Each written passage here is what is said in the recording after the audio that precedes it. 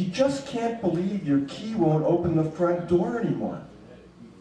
Determined to prove reality wrong, you board a flight for Budapest and walk wet streets in search of a keyhole you're convinced exists.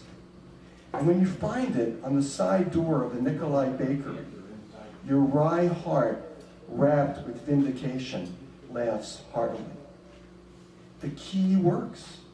It really works. But you don't enter. You don't dare. Time passes. The seasons alter. The world gives birth to triplets. People drop hot pennies into your hat. Thank you.